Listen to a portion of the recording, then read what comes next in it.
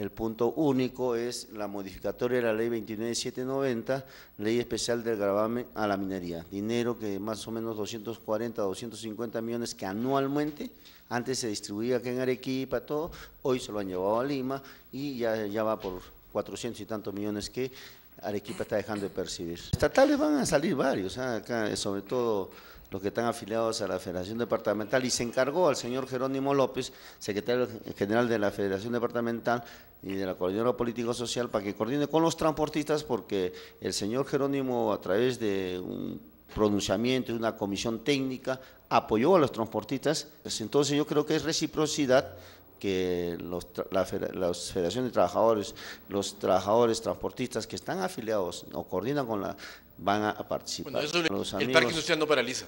Eh, bueno, supongo que no paraliza porque en la parte económica es privada. ¿no? Los megacentros tampoco. Los mercados tampoco. Jamás van a parar los megacentros. Los mercados tampoco. Sí, hablamos de la parte sindical, no creo que pare. La parte social, gremial, esa sí va a parar. No comparten de pronto porque hay un descrédito también de parte de las organizaciones que ustedes manejan, ¿no? Bueno, eso puede ser para las personas que indudablemente están recontra desacreditadas en función a capacidad de convocatoria. ¿no? ¿Tú no crees que estás muy desacreditado? Particularmente yo me siento el hombre más feliz de la tierra porque cuando se convoca un paro, las bases afiliadas al FREDICOM van al 100%. Las que no son afiliadas no van pues, porque no son afiliadas. Van porque tienen que pagar multas, porque tienen que pagar faenas, dobles jornadas.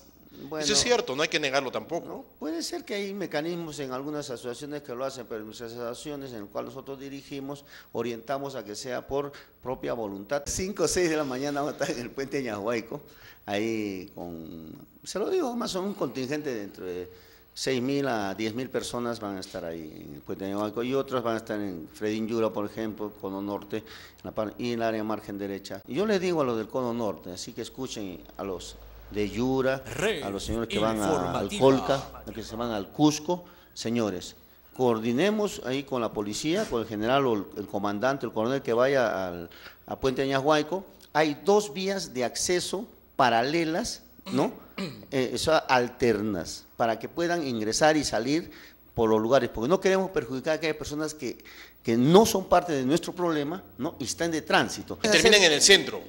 Claro, el contingente, un contingente se queda en, en el Codo Norte movilizándose y el otro contingente baja al centro de la ciudad.